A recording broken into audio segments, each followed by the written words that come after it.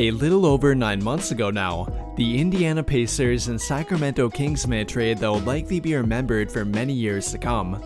If you don't remember, I'm referring to the deal involving Domantas Sabonis and Tyrese Haliburton. It was pretty much the definition of trade deadline madness, and it left many wondering about the direction both teams are moving in. I think everyone questioned what the Sacramento Kings were doing, but for Indiana in particular, it was widely believed they're moving in a complete rebuild, with them later trading Malcolm Brogdon and actively shopping Buddy Hield and Miles Turner throughout the summer. They then added another piece to that puzzle by drafting Bennedict Mathurin, a shooting guard of Arizona with intriguing upside, and between him and Tyrese Haliburton, they were looked at to be a long-term project. However, that project appears to be well ahead of schedule, with Haliburton making a case to be an All-Star, and Mathurin making a case to be Rookie of the Year, and maybe even Sixth Man of the Year as well. But what has allowed them to thrive so quickly in Indiana? And what are they doing that NBA teams cannot seem to figure out? We will talk about exactly that in today's video. Before we do that though, I would like to invite you to join our NBA Discord. If you enjoy having NBA discussions, being updated on NBA news, or chatting with others during live games, then I guarantee you would enjoy it. If you want to join, there will be a link for it in the video description down below. Without further ado though, let's get back to today's topic. And to begin, we need to discuss the jump taken by Tyrese Haliburton, who is currently having one of the better year 2 to year 3 leap forwards in recent memory.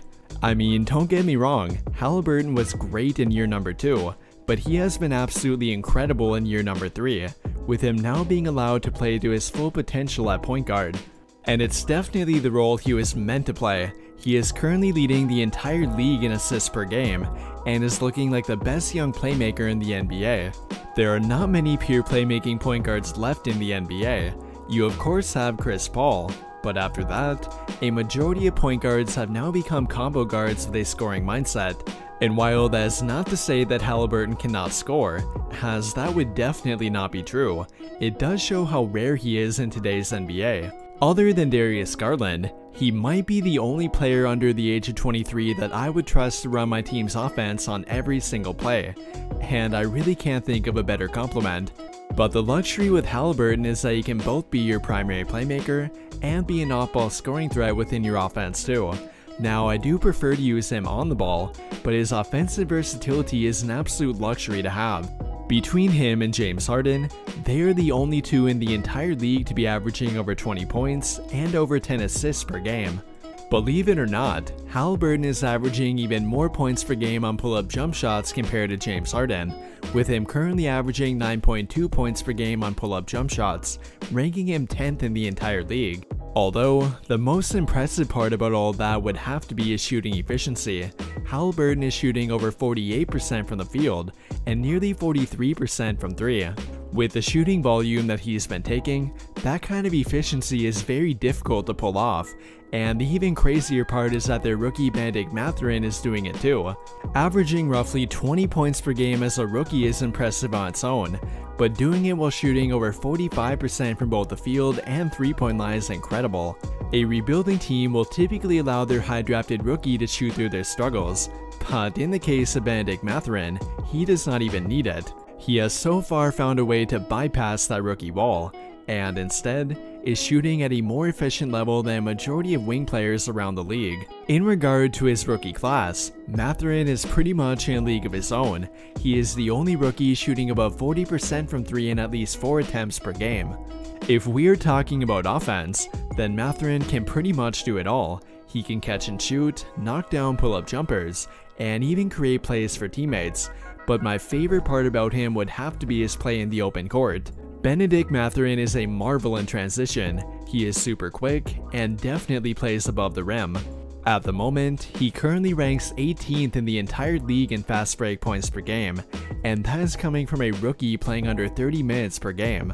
I imagine we are going to see plenty of fast breaks led by Tyrese Haliburton and Bennedict Mathurin, with many of them ending in a highlight play.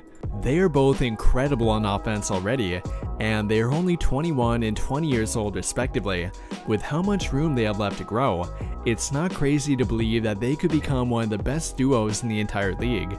They appear to be a match made in heaven on offense, a pure point guard who has zero weaknesses on offense, and an uber athletic shooting guard who is proving to be incredibly efficient. Allowing them time to simply build chemistry will do wonders for their team, and within a year or two, I guarantee that many more people will be talking about them. To wrap everything up here though, Tyrese Haliburton and Bennedict Mathurin could very well be the next up and coming duo in the NBA. They are insanely well rounded for how young they are, and they are only going to get better. With all of that being said though, what do you guys think? Where do you rank Haliburton and Mathurin among the young duos in today's NBA? Let me know your thoughts by commenting down below and we can talk about it there. That will do it for this video though. Big thank you to those of you who took the time to watch until the end of this video, and until the end of all of my videos in general. I really hope you enjoyed it, and if you did, be sure to drop a like on the video, subscribe to the channel if you have not already, and turn on notifications to get notified right away when I drop a new video. But as always, thank you for watching and have a great day.